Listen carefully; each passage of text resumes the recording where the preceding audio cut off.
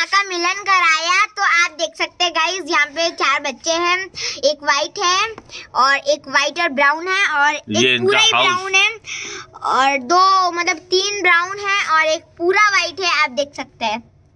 ये देखो सब अपने आराम से अब सो रहे हैं और ये सब अपना बच्चे का बच्चे को दूध पिला रहे हैं। और कितने बाद मिले? दो दिन बाद में दो दिन बाद मिले ये कुतिया बहुत रोई थी।